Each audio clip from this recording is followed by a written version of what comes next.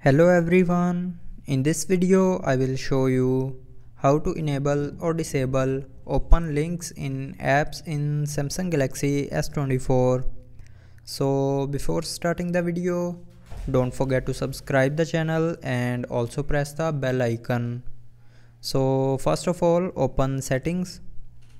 Now in settings scroll down and here click on apps now in apps click on choose default apps and then click on opening links.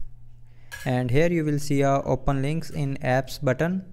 So if you want to disable open links in apps then turn off this button. And if you want to enable open links in apps then turn on this button. So that's how you can enable or disable open links in apps in Samsung Galaxy S24 I hope you liked the video. Thanks for watching.